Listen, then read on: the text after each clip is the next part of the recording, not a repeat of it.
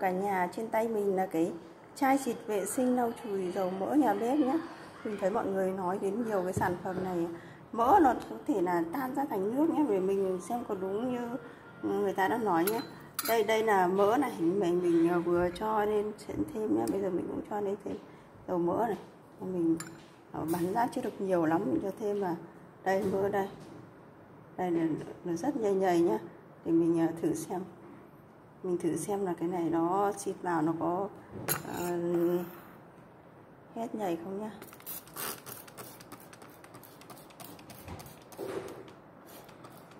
Đấy.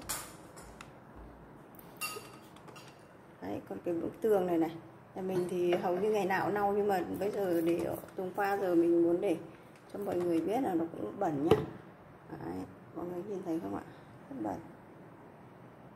Đấy để ờ, mấy giây ta có thể nấu được. Ừ, thử xem nhé đấy đúng là đã tan ra ra thành nước rồi cả nhà. Đây này. Đấy để có thời gian cho cái con um, vi sinh này nó ăn vào nhé nó ăn vào mỡ nó làm tan ra thành nước.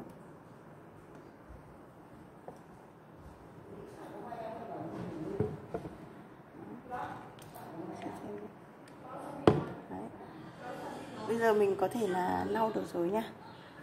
Mình lau nha.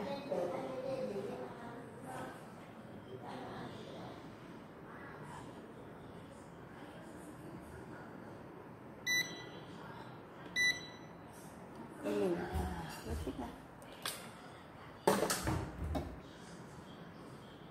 các bạn người đã nhìn thấy chưa ạ?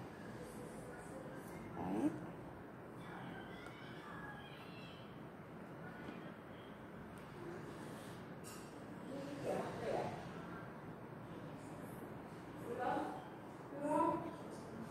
lau đến đâu là sạch đến đấy cả nhà nhé sạch bóng tinh tươm luôn.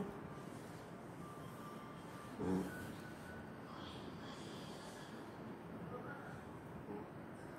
còn bức tường này nha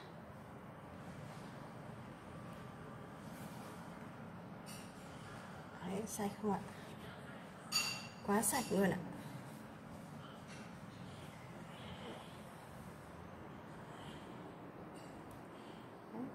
Cả nhà có thể